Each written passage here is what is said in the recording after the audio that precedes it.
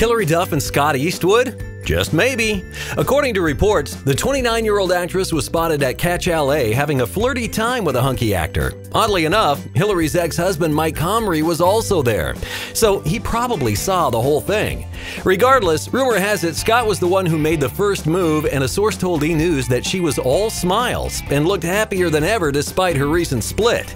And get this, they even left the restaurant together and continued their session at One Oak nightclub where they continued to chat throughout the night. No obvious PDA was spotted between Scott and Hilary, but people think this could possibly be the start of a blossoming romance.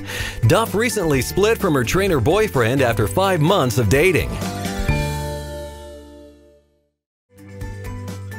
Sometimes our pictures, videos, and stories are so hot, people worry their screens will set on fire. It's true, people say that. So come like and subscribe to our stuff if you can handle the heat.